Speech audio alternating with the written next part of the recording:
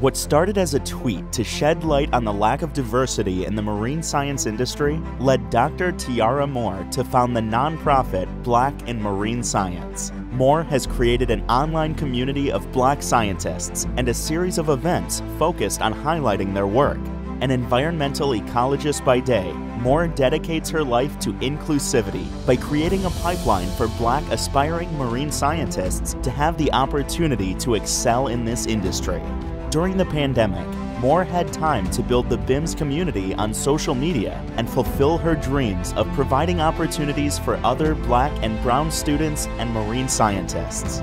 Moore and her team conduct a BIMS immersion program where they take 10 students who would otherwise not have the opportunity and get them scuba certified. Moore is working to expand outreach to the United Kingdom and Africa and hopes to create a BIMS Institute for her dedication to inclusivity and providing a community for fellow black marine scientists, Dr. Tiara Moore is our June Sea Hero.